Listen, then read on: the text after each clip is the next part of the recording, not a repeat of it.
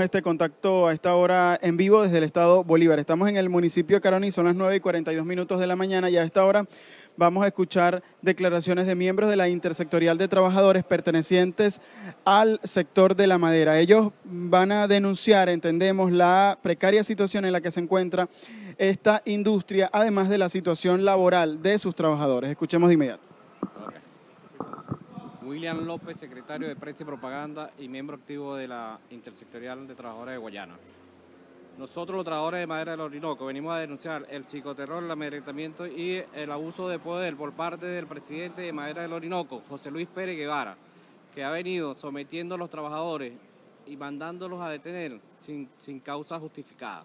Es el caso del día viernes que se mandaron a llevar a unos trabajadores detenidos con el DGCIN por el simple hecho de pasarle un informe y decirle que la ambulancia no estaban eh, para, para trasladar a los pacientes. Este, por ese simple hecho llegaron y se llevaron a dos trabajadores detenidos eh, dentro de la empresa, unas instalaciones que tiene el DGCIN en la empresa y si no es por la acción inmediata de los trabajadores que tomaron la decisión de ir a, defender a los compañeros, los dejan detenidos y hasta presos se los llevan o lo hacen, lo hacen renunciar. Eh, igualmente como el caso eh, eh, de días anteriores, el compañero Bajo Riva, que fue también a, a la empresa, este, el compañero Bajo Riva fue a hablar con el presidente de la empresa y el presidente lo estaba esperando con funcionarios del DGCIN. El caso fue que lo bajaron a punta de golpe desde el piso 6 de la Torre Ferro Casa hasta planta baja y ahí se lo llevaron en una camioneta hasta la sede del DGCIN aquí en Caronoco.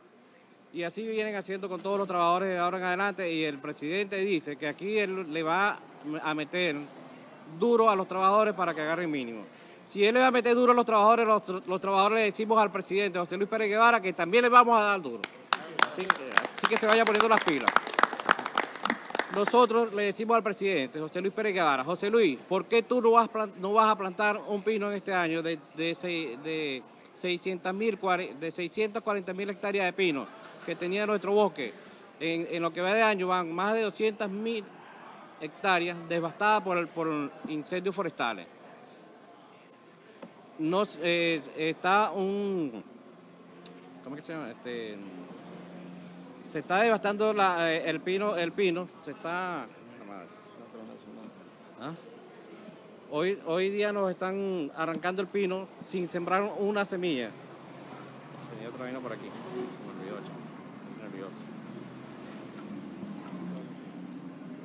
Presidente, usted que viene firmando actas, convenios y no, y no quiere hacer, hacer la valer después que, después que están eh, firmadas. Tenemos actas, convenios firmadas con, la empresa y cuando los trabajadores van a reclamar su broma no se les paga, no se les cancela. ¿Qué es lo que está pasando con el presidente de Madre del Orinoco? Se cree muy machito porque está ahí con, eh, con el sindicato, protegido por el sindicato. Le vamos a demostrar, presidente, que nosotros también somos hombres y mujeres que vamos a defender a la empresa, que sí se va a sembrar, Saliendo de usted vamos a sembrar pino, vamos a sacar, vamos a sacar nuestra empresa adelante. Este, Buenos días, Johnny Aguilera, miembro de Sintranfor, perteneciente al ITG ahorita activo. Mi denuncia es consecuente a la cláusula del contrato colectivo y al amedrentamiento que tiene la gerencia de talento humano con respecto a todos los trabajadores sacándolos de nómina, quitándolos de su cetatigue cuando es penado en la ley y con respecto a un acoso laboral permanente a los trabajadores para que desistan de su puesto de trabajo y a la hora de renunciar o retirarlo, lo, están robando en las cláusulas cuando le quitan en una sola cláusula 22 millones de bolívares a un trabajador por 22 años de servicio en empresa. Cuando la cláusula anterior del contrato colectivo, el único contrato colectivo que hemos tenido en los últimos 40 años que han tenido los trabajadores es 2008-2009, porque el 2017-2019 nunca fue homologado ni fue ni lo han recibido los trabajadores. 16 cláusulas de y se la están quitando a la hora de los trabajadores renunciar una cláusula que del contrato anterior, que era la 91, los trabajadores percibían de antigüedad del 40 al 100%. En esta cláusula nueva del 2017 es de 140 a 260% y la empresa le está pagando un trabajador de 1,40% a 2,6%. cuál es el robo y la estafa que tienen con los trabajadores de madera de Orinoco, el amedrentamiento y la persecución. Nosotros en estos próximos días estaremos consignando un documento en la consultoría jurídica de la empresa por la violación a la Constitución, a la Constitución de la República, a la Ley Orgánica de Trabajo y a nuestro contrato colectivo.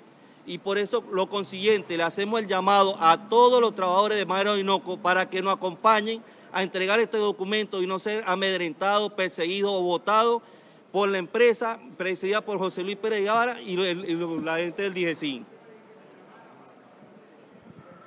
Bien, parte entonces de la denuncia que hacen trabajadores de maderas del Orinoco, este importante sector del sur de Venezuela. En principio denunciaban entonces acoso laboral, persecución, incluso la detención momentánea de eh, algunos trabajadores por exigir sus derechos laborales. También hablaban sobre la devastación que existe actualmente en los bosques. Decían de más de 650 mil pinos se han eh, pues devastado por lo menos 200 mil sin una reforestación por parte de esta empresa y también estaban entonces denunciando violación a sus contratos colectivos y a sus derechos laborales. Son las 9 y 48 minutos de la mañana y nosotros le vamos a dar el pase a nuestra compañera Leona Ibet.